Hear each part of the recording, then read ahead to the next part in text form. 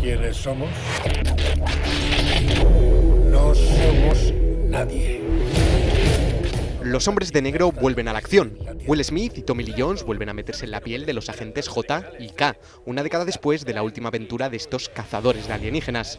De nuevo dirigidos por Barry Sonnenfeld, responsable de las dos entregas anteriores, los dos agentes tendrán que hacer frente a los planes del malvado Boris para acabar con la Tierra.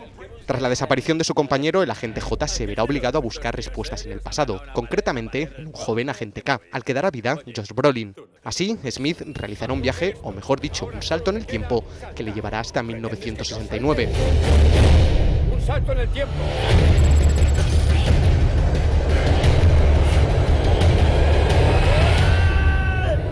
Los seguidores de esta saga, que mezcla ciencia ficción y humor a partes iguales, tendrán que esperar hasta el próximo 25 de mayo, cuando la podrán disfrutar en los cines, con una novedad respecto a las anteriores entregas, las tres dimensiones en las que se podrá ver a Will Smith y compañía.